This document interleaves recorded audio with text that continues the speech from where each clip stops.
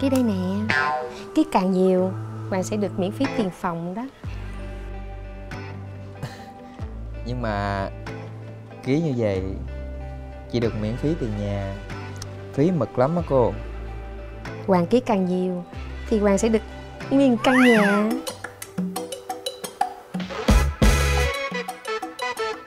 Thì nếu bây giờ Hoàng ký bằng cây bút khác. Cái gì đó là ký giờ à, Anh lên lầu nha. Rồi Hoàng ký cho. Chứ ở đây một số chỗ ký không được.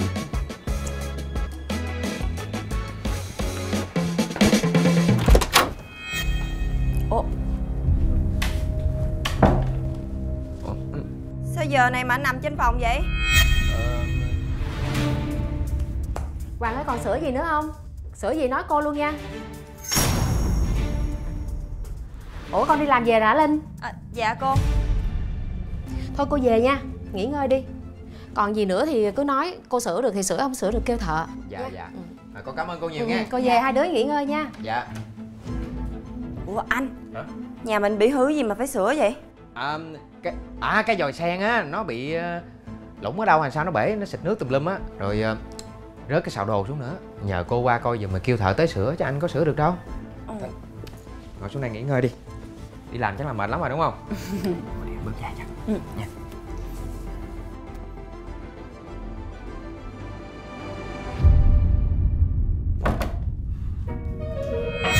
Làm hết hồn.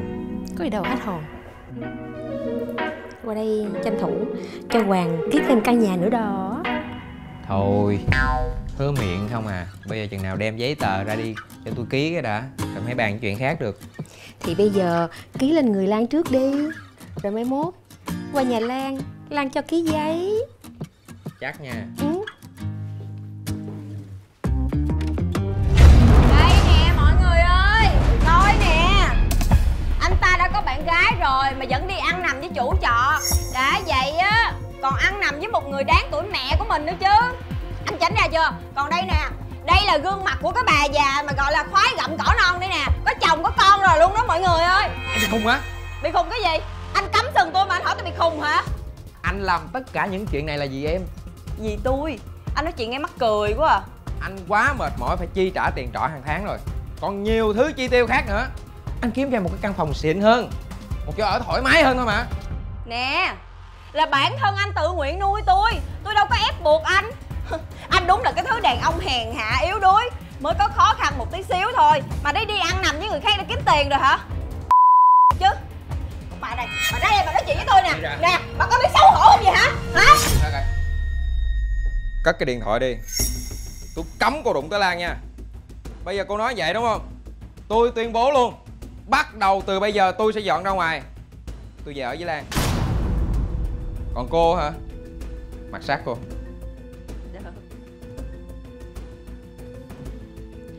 Thanh ơi. Chú vô đi chú.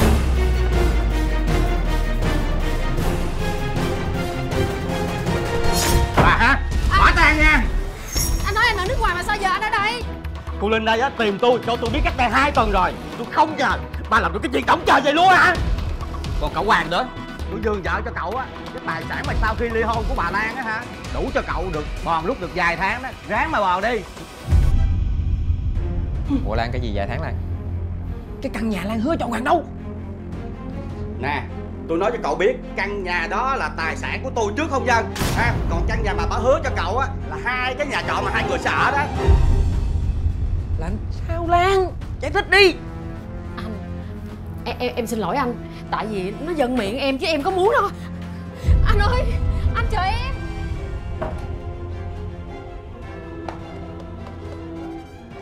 Giờ thì đẹp mặt rồi ha Đáng đời anh lắm. Kẻ mê tiền.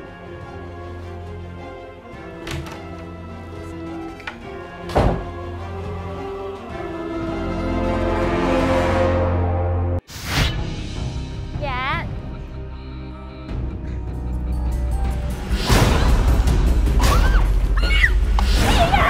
Này thì nói tụi tao chỉ biết uống trà sữa hả mày? Mày không biết uống trà sữa thì mày tắm đi mày.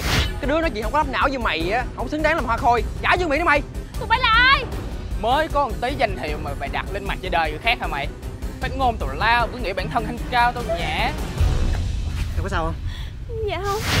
Nè Sao tự nhiên tay cái sướng người ta? Nè nè không có gì là tự nhiên hết á. Nó phát ngôn đụng chạm tụi tôi chứ làm chi Tôi làm gì sai? Mày nói á Y như là tụi tao chỉ biết ăn với ngủ Còn mày chăm chỉ nên được làm hoa khôi hả mày? Ê lớn rồi nói chuyện không có suy nghĩ vậy. Cái lúc phỏng vấn á không có lâm não vô hả? Ủa mà anh là ai vậy? Tại sao phải binh cho nó? Tôi là bạn trai của Như Ý Mày trai chắc là đại gia nào á. À Tôi chỉ là sinh viên bình thường thôi. Như Ý là một cô gái tốt Không phải hạng người ham mê vật chất Giống như mấy người nghĩ đâu. Mấy người á đừng có bụng ta suy bụng người. Tụi tôi quen được 5 năm rồi đó. À anh là cái người mà nó nói á Anh phải phát triển nhanh lên Phải có nhiều thành tựu hơn nữa Để theo kịp nó phải không? Đó anh sáng con mắt chưa? Chưa gì hết mà nó đã nói như vậy rồi. Mốt nó cũng bỏ anh đi theo người khác à. Nè Mấy người ăn nói cho đàng hoàng nha Đã tạt trà sữa người ta Không biết xin lỗi. Tôi sẽ kiện mấy người. Cái tội cố ý gây thương tích. Ê, ê, ê, ê, chưa đánh gì hết nha chưa ai đánh gì hết nha. Ờ đâu có làm gì đâu nha Không biết gì hết nha. Thôi đi thôi đi mày. Em có sao không? Dạ em không sao. Thôi mình về nhà nha. Dạ thôi có gì em phát bánh cho mọi người nữa. Xin chào tất cả mọi người. Mình là Hoa Cô Như Ý. Hôm nay mình bật livestream ở đây á Là muốn xin lỗi tất cả mọi người. Về những cái phát ngôn của mình Mình mong là mọi người hãy tha thứ cho mình. Đúng rồi đó mọi người, chỉ là hiểu lầm thôi. Đôi khi những lời nói của Như Ý nói ra Lại bị mọi người xuyên tạc và hiểu sai theo ý khác. Chứ thật ra Như Ý là một người rất tốt. Đúng rồi đó mọi người. Thật ra những cái lời nói của mình á Không phải là như vậy Mà mọi người cố tình hiểu sai ý của mình. Nhưng mà dù sao thì cũng là lỗi của mình Tại vì mình không truyền đạt đủ ý cho mọi người. Mình xin lỗi. Mọi người ơi Mình có thể khẳng định Như Ý là một cô gái rất là tốt. Mình ở bên cạnh Như Ý 5 năm chờ rồi Nên là mình rất hiểu con người của Như Ý như thế nào. Nên là mong mọi người đừng có phán xét Hay là soi mối xuyên tạc lời nói của Như Ý nữa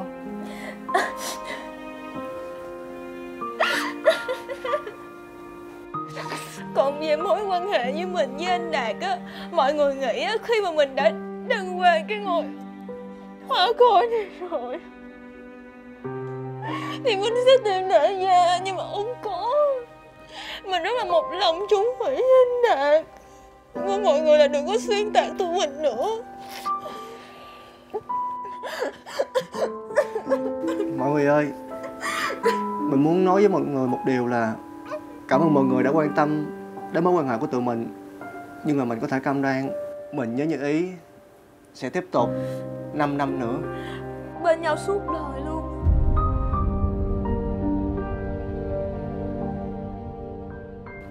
Mọi người ơi, mình muốn công khai với mọi người là sau khi hết cái kỳ đương nhiệm của mình một năm á Thì mình với anh Đạt sẽ tiến tới hôn nhân. Mình muốn chứng minh cho mọi người thấy á, tình cảm của mình và anh Đạt là tình cảm chân thành Không vật chất, không giả tạo Mình như ý Mình xin chân thành xin lỗi tất cả các bạn về những phát ngôn của mình Và mình cũng không phải là một con người vật chất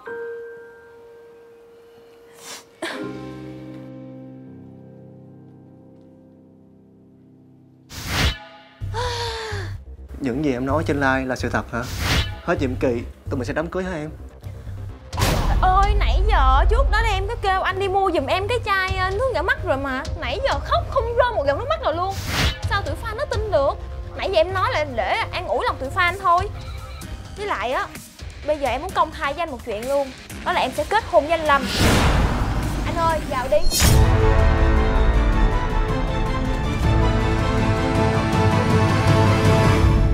Chào cậu.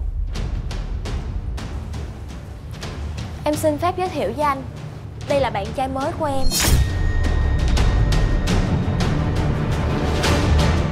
Em hiện tại đang ở một cương vị khác Khác hoàn toàn so với 2-3 tháng trước. Vì vậy, bạn trai của em á, cũng phải có những bước tiến nhảy vọt. Để theo kịp em, Anh hiểu mà đúng không? Nhưng em vẫn mong anh giữ được cái sự vô tư hồn nhiên, Đúng cái lứa tuổi của mình. Em không muốn ép anh phải theo em. Vì vậy á Em đổi bạn trai mới. Anh Lâm là con trai một của đại gia bất động sản. Em sẽ theo anh ấy. Em mong anh đừng buồn.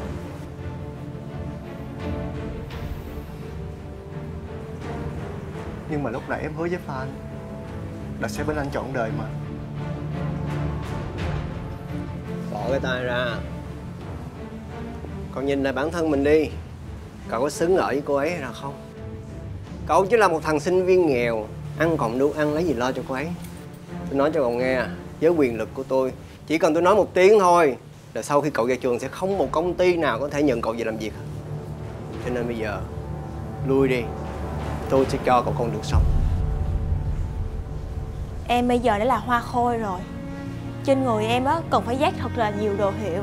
Anh nghĩ coi, Anh là một thằng sinh viên nghèo, Thì làm có gì lo lắng cho em? Em không bao giờ tin. Một túp lều chanh hai trái tim vàng. Anh hiểu điều đó mà đúng không? Mình đi thôi anh.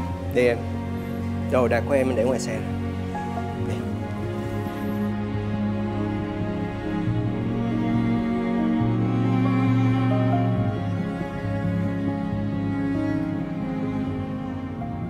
Đây là hợp đồng chấm dứt danh hiệu hoa khôi của cô. Mời cô trả lại phương miệng cho tôi. Anh ơi Cứu em với Người ta đòi lấy dương miệng của em kìa Em có biết là anh chán những phát ngôn vô tri của em trên mạng xã hội không? Còn nữa, cái điều tệ nhất á, là khi vừa đăng quang là em bỏ bạn trai của em đi cặp kè với đại gia rồi. Anh còn chưa nói tới cái clip 8 phút sáng nay của em nữa đó. Vừa thôi Tôi bỏ bạn trai theo anh Đúng rồi Chính anh là người đăng cái clip đó lên đúng không Em có bằng chứng hay là không? Chị ơi chị đừng có lấy dương miệng của em. Em xin chị em biết lỗi em sẽ không vậy nếu phát không phát ngôn gì nữa. Chị tha lỗi cho em nha chị. Cô buông ra. Cô đừng có nói nhiều nữa. Nhiệm vụ của tôi ngày hôm nay á là đưa hợp đồng cho cô để chấm dứt ngôi vị hoa khôi của cô cũng như là lấy lại cái phương miệng này. Không đây là dương miệng của tôi. Tôi không cho ai lấy hết á. Nó chưa bao giờ là của em hết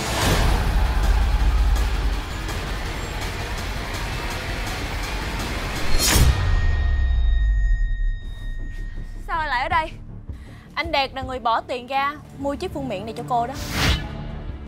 Ngay từ cái lần đầu Em muốn nói đi thi qua khôi Chỉ nhìn vào ánh mắt của em thôi. Anh đã thấy thực sự khao khát có được nó như thế nào Nên anh bỏ tiền ra mua nó. Chứ em nghĩ với cái IQ và ứng xử tệ như em Thì em có thể làm được hoa hậu sao? Anh nói dối. Anh chỉ là một thằng nghèo kiết xác. Lấy tiền đâu mà mua viên miệng với tôi hả? Đúng. Anh chỉ là sinh viên Nhưng không phải là sinh viên nghèo. Ba của anh là chủ tập đoàn xây dựng lớn nhất nước mình. Anh đến với em Chỉ muốn là đến vì tình cảm Chứ không phải là tiền bạc. Anh ơi em biết lỗi của em rồi. Bây giờ mình quay lại mình làm lại từ đầu nha anh. Với lại cái dương miệng này nè dù sao anh cũng mua cho em rồi. Anh cho em luôn nha anh đừng có anh kêu người ta đừng có lấy lại của em nha anh. Mọi lỗi lầm đều phải trả giá em mà Những điều này là em mong muốn mà Em nên nhớ một điều. Tốt gỗ còn hơn tốt nước sơn. Dù em có xinh đẹp có là hoa khôi đi nữa Nhưng nhưng cách em rách nát. Thì cũng chẳng bao giờ chạm tới đỉnh vinh quang mà em mong muốn đâu.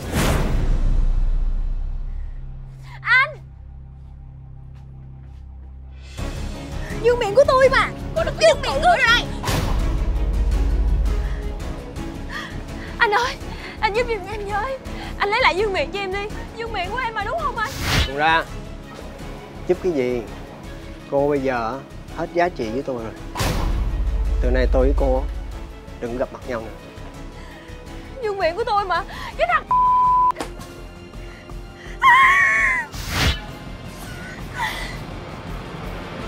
trả dương miệng đây Ui da anh đi về đi cái đồ biến thái Ủa em Tự nhiên cho anh biến thái là sao Anh có làm gì đâu Ê, ê, ê, da. Còn nó không làm gì nữa hả? Ừ thì mình sáng tạo xíu Có gì đâu. Sáng tạo? Bộ nằm bên cạnh tôi anh không đủ hưng vấn hay sao mà anh phải sáng tạo nữa?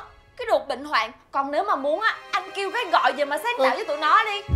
Ừm, Em. Cái gì nữa? Không. Không. Ý là không phải như vậy Nhưng mà em thử một lần đi. Ok lắm luôn á. Anh cũng ok ok. Lên nè ok nè có đi về không? Có đi về không? Hả? Đẹp chết anh có đi về không? Nhanh lên chút xíu. Nhanh lên. Da. Cái đồ điên. Anh ơi, cho em xin lỗi nha. Hồi nãy á, em chỉ lỡ đi ngang qua thôi à. Chứ em không cố tình nghe lén đâu. Em không có gì phải sợ hết trơn á. Anh mới là người sai nè. Anh tệ quá. Anh, anh có làm gì sai đâu. Anh chỉ đang làm đúng theo bản năng của một người đàn ông thôi mà. Người đàn ông nào á, chả muốn người yêu của mình chiều chuộng Quan tâm tới mình. Giá như Ngọc Cũng hiểu chuyện như em thì tốt được mấy. Con Ngọc á Nó được gia đình nó chiều chuộng từ nhỏ rồi. Ba mẹ nó kìm cặp nó dữ lắm. Nó không có suy nghĩ thoáng như người ta đâu. Anh phải từ từ dạy nó. Anh đừng có gấp quá Em xin lỗi nha. Ừ. Anh gấp quá. Anh cảm ơn em nha. Có gì đâu mà anh cảm ơn em. Em là bạn thân của con Ngọc mà. Anh là người yêu của nó Thì cũng giống như là Cũng giống như là Bạn của em thôi. Anh Anh đừng uống nữa được không? Anh còn phải lái xe về đó. Ly nè. Dạ.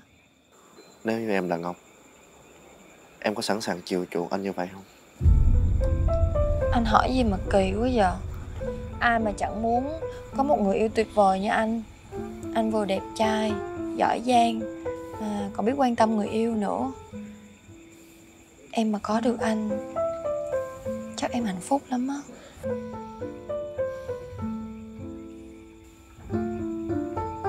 Thôi mình lên xe nha. Dạ. À dạ. Mình đi về thôi.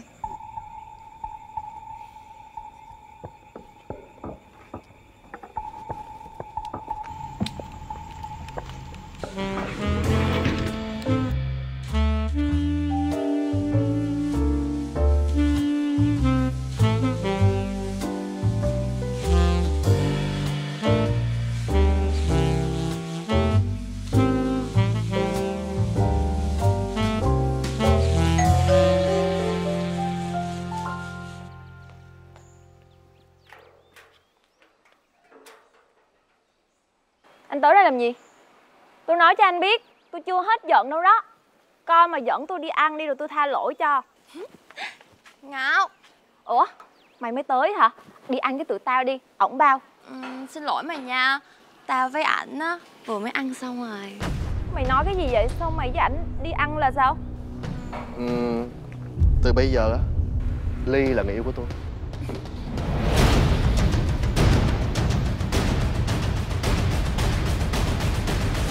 Quen người yêu như thế nào không biết. Mà cứ như khúc củi vậy đó Chán chết đi được. Ly Mày là bạn thân của tao mà Sao mày giật bồ tao? Tao đâu có cướp bồ mày đâu. Là mẹ đuổi ảnh đi Nên là tao lấy ảnh thôi. Khốn nạn Trơ trẽn Mày đang chửi tao á hả? Mày đừng có vô duyên như vậy nha. Tao thích ảnh lâu lắm rồi Tại mày quen ảnh nên tao không dám nói thôi Mắc mới gì một người vừa đẹp trai Vừa giàu có Còn mạnh mẽ như ảnh. Mà tao không quen. Mày có không giữ á Mất thì đừng có mà tiếc. Tụi mày là cái thứ mèo mã gà đâu Dơ bẩn. Ê đừng có nặng lời nha. Mày nhìn lại bản thân mày chưa? Phụ nữ ở thế kỷ 21 rồi Mà lạc hậu cổ hủ. Đến việc chiều người yêu mày còn không làm được. Mày không làm được á thì để tao làm Hiểu chưa? Tao hiểu rồi Biến. Tụi mày biến ra khỏi nhà tao. Đừng có đứng đây nữa. Biến. Ok. Ừ, Anh chúc em nha. Sớm tìm được cái khúc củi á Mà nó phù hợp với em.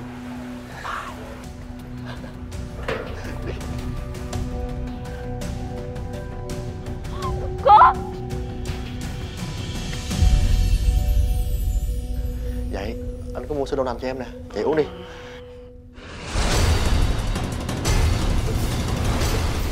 Mày là ai vậy? Sao nằm trong phòng người yêu tao hả? Mày là ai? Tao là người yêu của Ly. Ly! Ly ơi! Dạ. Gì vậy? Ủa? Anh về rồi hả? Ai đây?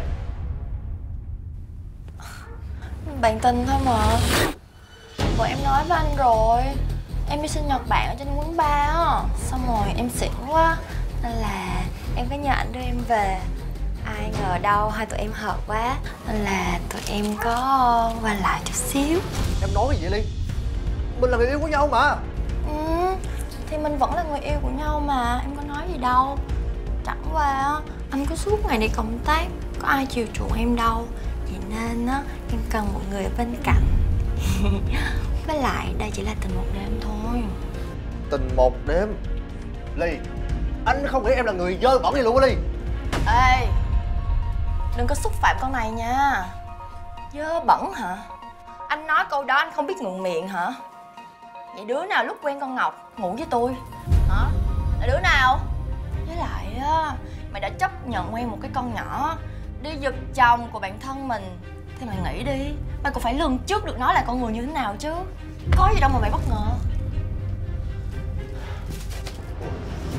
Anh không đủ làm em thỏa mãn hả ly? Đúng. Anh không đủ làm tôi thỏa mãn. Anh chưa bao giờ làm tôi thỏa mãn hết á. Anh nghĩ đi Anh có cái gì? Có cái mã đẹp trai thôi à.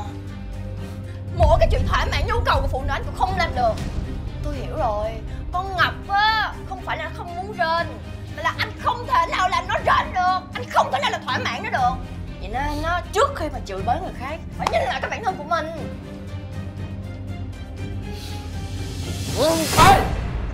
Mày đánh đi. Đánh cho mạnh vô Thằng vô dụng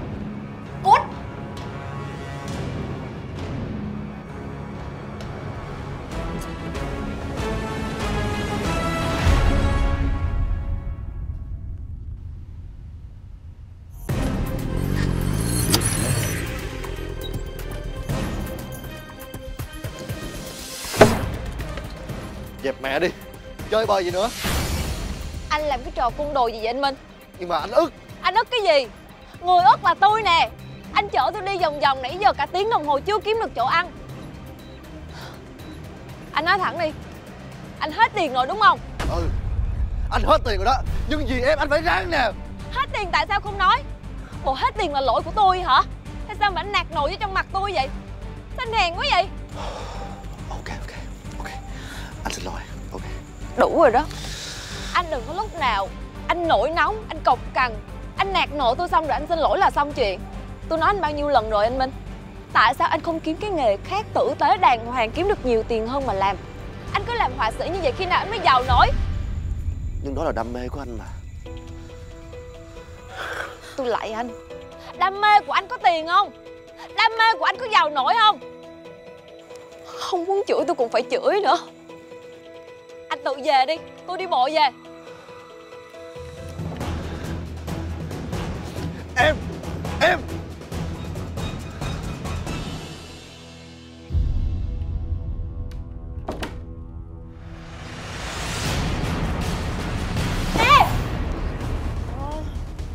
Hai người đang làm gì vậy? Mày đang làm gì vậy Ly Cái gì vậy trời? Mày không thấy hả? Tụi ta đang ngoại tình Bị điên rồi. Anh Minh? Cái này là sao? Tôi làm gì sao mà anh đối xử với tôi như vậy? Hả, anh nói đi. Không phải em không tốt, mà là tụi mình không có hợp nhau. Em chê bai công việc của anh. Lúc nào em cũng so sánh anh với người này, người nọ. Nói là công việc anh không tốt, công việc anh thế này thế kia. Anh là đàn ông. Anh có tự trọng mà. Tôi làm như vậy có gì sai? Hả? Tôi thấy chồng mình kém cỏi. Thì tôi chê anh tôi nói anh để khích lệ cho anh cố gắng hơn thôi. Vậy mà anh trách móc tôi hả? Động lực phát triển hả? Mày chê bai người ta Là mày đang làm nhục chí người ta đó. Phụ nữ Phải biết yêu thương Và động viên chồng mình. Chứ không phải là để chì chiết chồng mình hiểu chưa? Mày nín đi. Mày có chồng chưa mà mày nói Mày là bạn thân của tao đó Ly. Nói vậy thì thua rồi. Cãi sao lại? Anh cố gắng nhiều lắm rồi đó. Chỉ là em không thấy thôi. Hay nhận lại.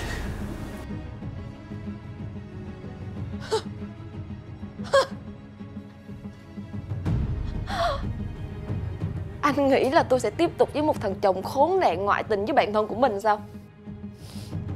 Hả? Đã không làm được gì rồi. Còn không sống tử tế nữa. Anh nghĩ anh là cái thá gì? Em chưa hề coi anh là chồng làm sao anh coi em là con em được? Anh ngoại tình đó. Rồi sao? Đấy Tôi hiểu rồi.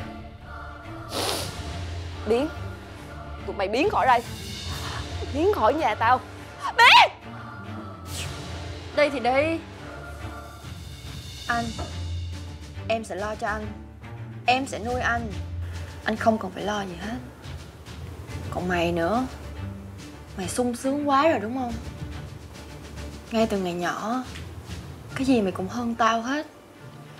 Mày giàu có hơn tao, Giỏi giang hơn tao, Được bao nhiêu người theo đuổi hơn tao. Đúng. Cái gì mày cũng hơn tao hết á.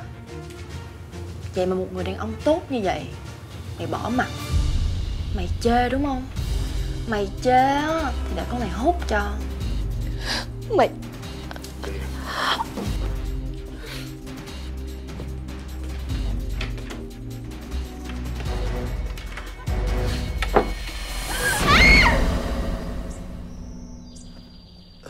Em Dạ. Hay mình đi ăn đi ha. Dạ. Ủa anh Xe mình đâu rồi? Xe um, Đi cầm rồi. Cầm? Ủa xe của em mà sao anh đi cầm vậy? Em nói cái gì vậy? Tụi mình yêu nhau mà. Tiền nhà cũng đóng chung Ăn uống cũng chia chung. Bây giờ xe cũng cũng cũng có chung chứ sao? Nhưng mà Tụi mình đã cưới nhau đâu? Cái xe đó là của em mà anh. Rồi hiểu rồi hiểu rồi hiểu rồi. Ý của em á là em không, không muốn cưới anh chứ gì? Ok ok hiểu hiểu. À, Không phải. Anh hiểu sai với em rồi. Ừ, Tụi mình sẽ cưới nhau Tụi mình sẽ xài đồ chung với nhau. Nhưng mà bây giờ nó là xe của em. Anh có cầm thì anh cũng phải hỏi em một tiếng chứ. Cái gì? Hỏi em một tiếng hả? Bây giờ chồng làm cái gì cũng về hỏi vợ một tiếng là sao? Em kiểm soát anh như con Ngọc rồi đó. Không phải. Thôi được rồi Em xin lỗi em sai rồi. Nhưng mà Anh cầm làm gì vậy? Anh thiếu tiền không nói với em Anh cắm mua đất Tại lúc nãy cần gấp quá. Thiếu có mấy chục triệu à. Không lẽ đi mượn người ta xin lời xin lãi thì kỳ. Đúng không? Mà cái lô đất đó, đó Anh bảo đảm với em là rất là đẹp. Đắc địa lắm. Ngay dự án đường quốc lộ. Sau này là lời to luôn á. Yên tâm đi. Lời một cái anh mua xe hơi cho em. Đi không có sợ nắng mưa gì đâu á. Nha. Ừ. Em xin lỗi chồng nha. Anh lo cho em như vậy mà em cứ trách móc anh hoài à. Em xin lỗi nha. Không có sao đâu. Anh không trách em đâu mà sợ. Nha.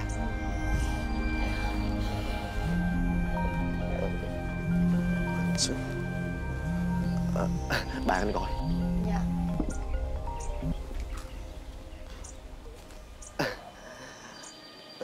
Dạ alo, alo em nghe anh ơi.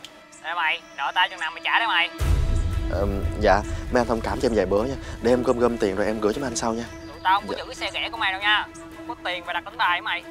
Hôm nay á mà mày không trả Tao xin cái tay của mày nha. Dạ mấy, anh ơi mấy, mấy anh đừng làm vậy mà mấy anh ơi. Nha nha nha Rồi em hứa em hứa. Em có là em em đưa liền á. Dạ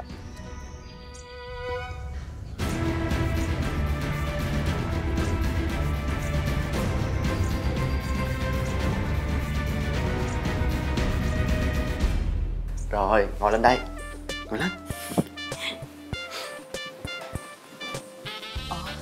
Làm cái gì mà dắt người ta vô khách sạn vậy? Thì lâu lâu anh muốn đổi cho một bữa. Em không thích hả? Em thích chứ. Bữa giờ ở phòng trọ nóng nực bực mình lắm luôn á. Hôm nay vào trong khách sạn Em sẽ tới nóc với anh luôn. Em sẽ là cô vợ hư hỏng của anh. Em hứa rồi đó nha. Ừ, Không được đút lời nha. Tất nhiên rồi Là anh muốn làm gì em cũng chiều theo đúng không? Dạ Đây Nè vô nha